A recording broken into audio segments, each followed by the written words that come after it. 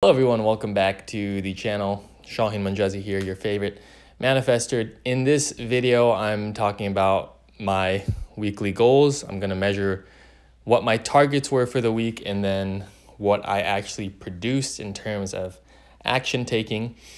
And um, the whole point of this video is just to give you guys an idea of what it looks like at the end of my week if I set goals for myself, whether I achieve the goals, if I didn't achieve the goals, and if I did not achieve the goals, what I am going to do going forward to get better and achieve the goals. And I also want to show you guys how if you had goals that once you start pursuing them and yeah, taking action towards those goals, and you might see that they're actually not the, the best way of doing things, or those goals aren't the best way of measuring your progress, you can always change those goals and refine them along the way during your process. So don't always feel like you're locked into certain goals that you set for yourself when it comes to weekly goals or uh, excuse me 90 day goals. As far as my career goals go um, i actually did a good job with the youtube aspect of things. My goal for the week is to release three youtube videos and i successfully did that. So i'm super stoked about that. I'm super happy with my production on youtube and that I have momentum uh, in YouTube now.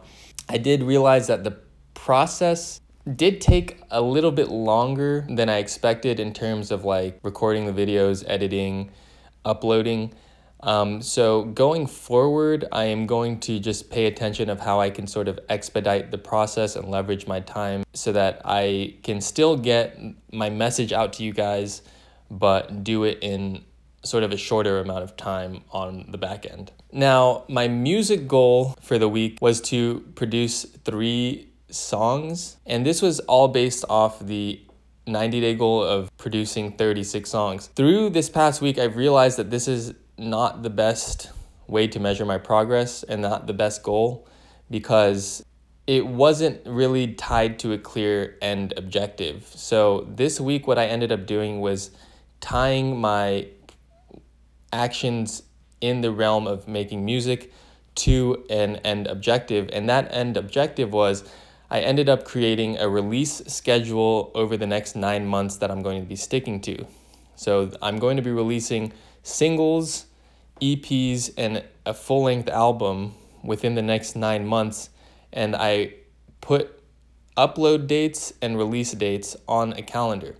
So now I have a visual representation of what I'm doing in the world of music over the next nine months. Within this 90 day period now, I'm going to be releasing two singles. So I'll be releasing a single in December and I'll be releasing a single in uh, January. Okay, so that's going to fall in this first 90 day period. So now my new process for making music is at the beginning of the week, I'm going to define what actions I need to take that week to get one step closer to releasing these two songs that I'm going to be releasing in this in, in this 90 day period. So that's my new process and I'm happy that I I've created this new release schedule because I can kind of clearly see this and visualize it and just see it on the calendar. And I'm happy to report that this week I did make progress in mixing uh, one of the songs that I'm going to be releasing in December. So I'm happy with this new process going forward. Relationship goals. So in this 90 day period, I have set the goal of making 125 new connections. These are people that I meet in person that I connect with on some way. So I count a connection as I meet them in person and then I have some sort of way that I can reach out to them after that brief interaction that we have. This means that I would have had to meet 10 new people this week and connect with them. And I fell short of that. I've connected with six people this week. Now, this is not counting two people that I met on the Saturday before this week. I consider a new week starting on Sunday, and I kind of started this goal setting process this week. I did connect with two people on Saturday, but I'm not counting that. That would have taken it up to eight. But I did meet six people, and my main strategy for achieving this goal is to attend two social events per week. What I've realized is I can't just depend on these two social events to make those 10 connections. And instead, what I have to do now is just be more curious about people in my every day to day life. This is when I'm going to the gym if I'm doing things for work, if I'm at the store, if I'm eating at a restaurant. And that has to be a part of my strategy now. I can't just rely on these two so- social events. The two social events that I attended this week were dancing events, uh, like partner dancing events. So, it would be like a class followed by social dancing.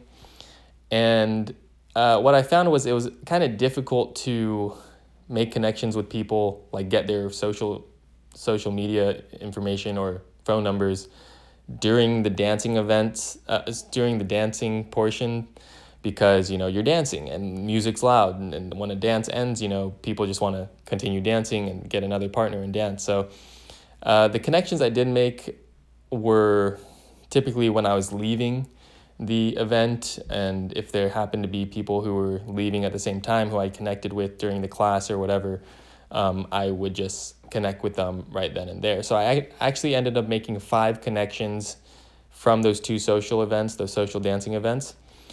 And I made one connection from eating at a restaurant chain called Rubio's next to my house that I've been going to for many years. And actually, I noticed one of the guys who worked there, I noticed that he'd been working there for a long time. And when he came to serve me my food, I actually brought that up. I was like, hey, man, you've been working here for a long time. And we ended up having a pretty long, good conversation. Um, and I connected with him on social media. So that was super cool. And again, just a testament to it's good to be curious about people um, just whenever you're going about your day to day life. So I do like this goal of connecting with 10 people per week. I think it pushes me to be curious about people and go meet people. So I'm going to keep this goal and I'm going to implement these changes going forward into next week, or I guess technically this week because I'm filming this in week two. Physical goals. Uh, I'm super happy to report that I met all of my physical goals. Um, my goals was to do two strength workouts this week, which I did with flying colors and it was to gain 0.4 pounds per week.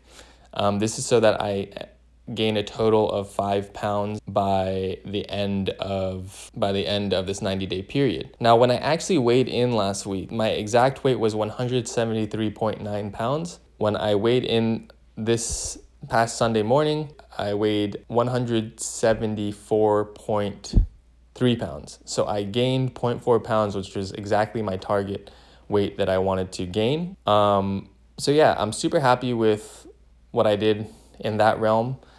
And um, I think going forward, what I have to do better is just really pay attention to the eating enough food, making sure I'm eating at the same time or around the same time every day. And um, yeah, just pay more attention to my eating habits. That's what I'm going to do for this week going forward. All right, let's talk about financial goals. So, the financial goals for this week was to make $750 from really any source of income, any any source, and then $540 from my personal brand. Uh, this week, I made a grand total of $22 which I made from selling old clothes that I was gonna go donate, but I saw a store that like buys old clothes if they see something they like and they resell it. But I'm very, very, very, very happy and relieved to announce that I did reach out to my network in the production world this week and I landed a job for next week. Um, it's a four day shoot. I'm gonna be working as production assistant and the guaranteed pay is $1200 for the for that 4-day job, but it could go up to anywhere from $1500 to $1600 if those filming days go into overtime. So, um, I'm super excited about that. I'm super happy that I got that job. And if I do end up making $15 to $100 with this job next week, um, averaging it out over this this week and next week, is going to be $750 per week. So that would actually mean I meet my goal. And um, I did not make any money from my personal brand. My strategy here is to continue producing high valuable content and making it clear constantly it, iterating at the end of my videos that I do offer coaching consulting services in the realm of applying manifestation techniques into your life and then also, I can make money from my music by playing gigs. Um, this is essentially what I've been doing for the past four months, traveling and touring across America. So, what I'm going to have to do action wise in order to achieve that is to go schedule a day where I just go walk into local establishment, bars, breweries, restaurants, and um, talk to those establishments and see if they want music. That will greatly enhance my odds of making mu- money from uh, music and my personal brand. That is really the entire scope of what I did this week, um, how I performed. I'm super happy. I met a couple of those goals, um, secured a job, and yeah, I'm making progress. That's the main thing. I think the most important thing to take from this is having goals on a weekly basis prompts you to take action. And when you take action, you're bettering yourself. So that's the main thing that I'm happy about this past week. I took action and I can give myself a pat on the back for, back for that. And I just implore you to do this process. If watch my YouTube videos on setting annual goals, creating 90 day goals, and creating weekly goals based off those 90 day goals. And just, yeah, start taking action and do this for yourself where you have goals that you can measure. You need to be able to measure your goals in some way, shape, or form. That is going to determine if you're making progress or not. Um, thank you guys so much for tuning into this video. Uh, and again, I just want to reiterate I do offer manifestation coaching, consulting, basically where we get down to what it is exactly that you want to manifest, and then we take manifestation principles, apply them to your life, and I am your accountability and manifestation partner over a course of time until you really embody um, the teachings and the principles for yourself and know how to go through that process for yourself. This is just something to dive deeper in if you really want to go deep in this topic with me, then that service is available. If not, continue watching my videos, get as much value from them as possible, and uh, let's continue growing together. Peace out for now.